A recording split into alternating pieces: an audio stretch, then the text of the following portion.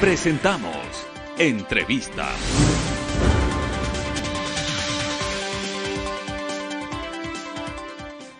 Siete de la mañana, cuatro minutos. Saludamos a la presidenta del Consejo de Regulación, Desarrollo y Promoción de la Información y Comunicación, Yanine Cruz. ¿Cómo le va? Buenos días. Buenos días, estimado Javier. Qué gusto poder saludarte a ti y a todo el país. Gracias por aceptar esta invitación.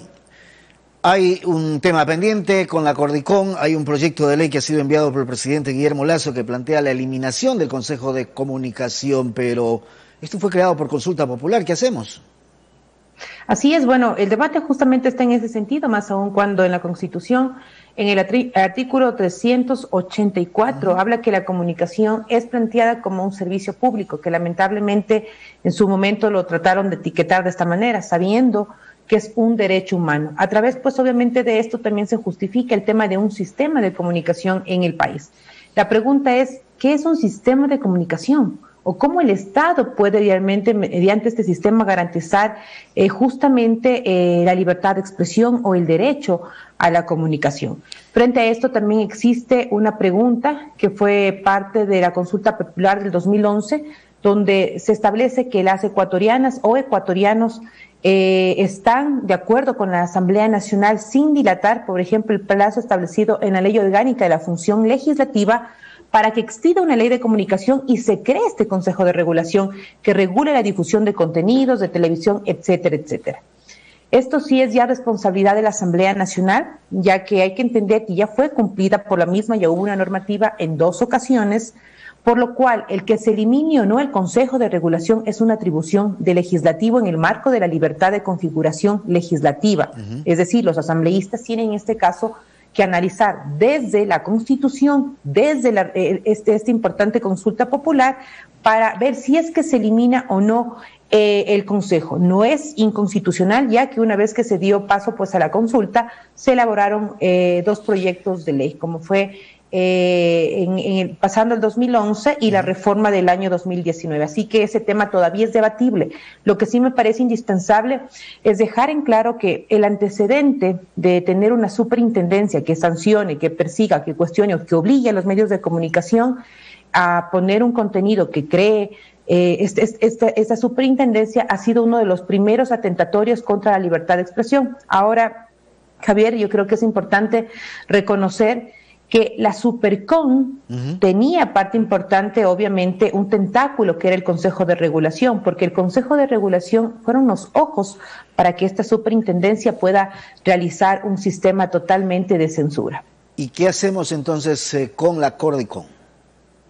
En este caso, nosotros lo que hemos establecido claramente es que el Consejo de Regulación, primero una vez que asumí la delegación por parte del Ejecutivo, me encuentro con varias novedades. Por un lado, que no ha existido un año una autoridad al frente de esta importante institución.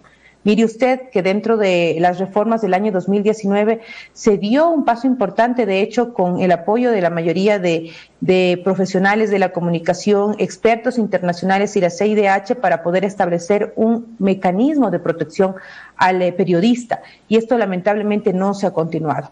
El Consejo de Regulación tiene una potestad, por un lado es el monitoreo de contenidos y por otro lado es la promoción de derechos para tratar de difundir que es un derecho esta comunicación, pero también el acceso a la información. Ahora, me parece que es indispensable también conocer que hay un delegado del Defensor del Pueblo, del CES, del AME, del Consejo de Participación Ciudadana y de eh, la, eh, la, Secretaría de Derechos Humanos. En este caso no se ha hecho absolutamente nada, por lo que nosotros vamos a plantear un plan, me parece que es indispensable aterrizar en varias ideas hasta ver la definición, en este caso, de la Asamblea Nacional. ¿Cuáles son esas ideas? Primero, la promoción y que nuestros colegas sigan profesionalizándose. Por ejemplo, me encuentro con una noticia que muchos eh, periodistas o trabajadores de la comunicación tuvieron la posibilidad de seguir una maestría eh, con varios convenios de universidades, que esto es positivo, eh, maestrías para que sigan profesionalizándose. Me parece indispensable esta capacitación, ya que muchos de ellos obviamente tienen la posibilidad de que estas maestrías sean costeadas al 100%. Ahora, ¿Qué está pasando en nuestro país? Por un lado, por ejemplo, usted, Javier, eh, por su posición, por su trayectoria, es conocido y obviamente porque estamos en un medio importante de su, de su quehacer profesional. Si mañana alguien llega a ponerle alguna denuncia, usted seguro tiene la posibilidad de defenderse porque su imagen y su trayectoria permite que muchos abogados puedan asistir esa denuncia. Pero ¿qué pasa con el periodista de frontera? ¿Qué pasa con el periodista de cantón que donde no tiene obviamente esta connotación nacional, lamentablemente no tiene una defensa? Por eso nosotros vamos a concretar con la Defensoría Pública que de oficio en el quehacer periodístico, si un comunicador es demandado, pueda ser asistido con un especialista en este tema de alguna manera para sobrellevar. Hemos visto cómo en, este último, eh, bueno, en estos últimos años realmente un acoso permanente a los periodistas. Hace poco, por ejemplo, vimos cómo una periodista de un canal igual nacional exponía una denuncia sobre la adquisición de, medicina y recibió amenazas constantemente, pero no pasó de una simple alerta o un comunicado por parte, por ejemplo, de la Fiscalía. Estos temas se tienen que aterrizar para tomar, obviamente, una postura mucho más concreta y poder sobrellevar justamente esta protección al periodista. Y por otro lado, el tema de promover derechos, pero nosotros eh, teniendo la posibilidad de concebir desde el quehacer periodístico. Por ejemplo, un comunicador social que sale o un fotógrafo a realizar una cobertura en una marcha o en una protesta, muchas de las veces también es agredido porque tanto la fuerza pública no reconoce o no entiende realmente cuáles son las atribuciones y el compromiso de este periodista. Se tiene que volver, obviamente, esta capacitación inclusive a los propios, eh, eh, a la propia Policía Nacional para que entienda el trabajo del periodista, o por ejemplo retomar los eh, cursos inclusive de con las Fuerzas Armadas sobre reporteros de guerra a quienes estén iniciando esta profesión para que tengan obviamente los insumos necesarios, llamar a especialistas a nivel internacional donde nos puedan comentar cuál ha sido su experiencia en otros países y mediante eso poder tomar decisiones en terruño bajo obviamente eh, nuestro Estado.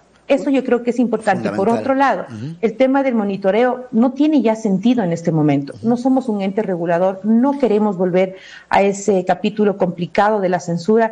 Y más bien yo le cuento, me acabo de encontrar con este, eh, este, este dispositivo que es el Videoma, que aproximadamente nos costó un millón de dólares, donde se grababa todos los contenidos de todos los, eh, de toda la, la producción nacional. Y cuando había una alerta, usted revisaba y esto servía como testimonio para poder multarle a usted. La pregunta es, ¿qué vamos a hacer con ese video?